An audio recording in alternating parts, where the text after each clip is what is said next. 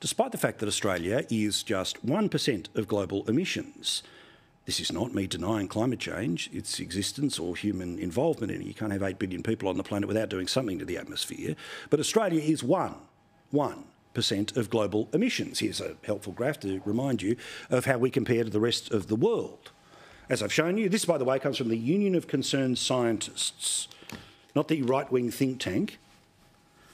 China is about a third of what the world has to deal with right now. The third world is, again, a significant number, as is Russia and India. Yes, the United States a big picture in it, but Australia is the one that absolutely must do something. Despite the fact that, as I've told you a trillion times before, Australia, even if we stopped everything and we went back to whatever green dream Adam Bandt may have in the middle of the night, the pollution that comes out of China would replace everything Australia does in one year in 16 days. That was the IPA with their study a couple of years ago. And despite the fact that it is China who is building more coal fired power plants, and in actual fact is responsible for 95% of all new coal fire power construction in 2023, it is Australia who absolutely must solve the climate crisis. 1% of the climate crisis. Now, in 2019, Australians went, no, no, no, 43%, sorry, 45% target of Bill Shorten. That's too much. But then, because our interest, because our power bills were going to fall by $275 and hundreds of thousands of new jobs would be created, apparently just 2% three years later was the perfect place where Anthony Albanese was able to get himself elected. Of course, the Dutton opposition says they're not going to play the 2030 game because the main game is net zero by 2050.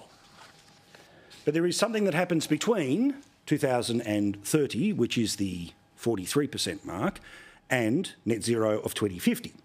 And that is countries like Australia having to go even deeper, even harder on the expectations of climate cuts for 2035.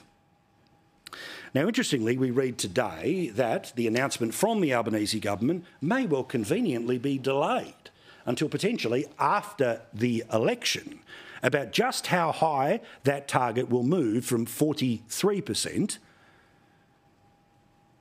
And in part, that's because we're standing by to see what's happening in the United States. Now, let's be very clear Kamala Harris is part of an administration that has gone hard trying to push down numbers when it comes to the climate emissions of the United States.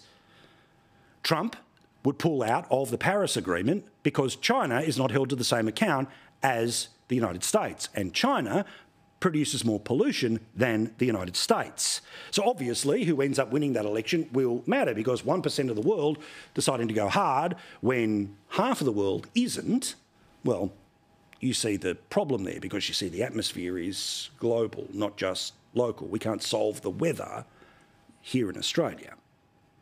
But to give you an idea of if this government goes into a minority after the next election, and then they will have to set a target after the next election, these are the targets that the people who will hold together the parliament, the Greens and the Teals, would demand by 2035. They don't want the Greens net zero by 2050, they want it by 2035. The Teals don't want 43% by 2030, they want it to be amped to 75% by 2035.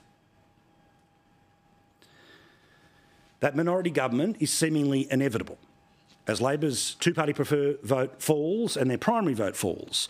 So the likelihood or the best case scenario for Labor is to pretend that they don't have a target going into 2035, to have an election in 2025, and then because the Greens tell them they have to do it or they'll lose government, producing a number way wilder than anything that Australians have been willing to accept at a ballot box any time in Australian political history.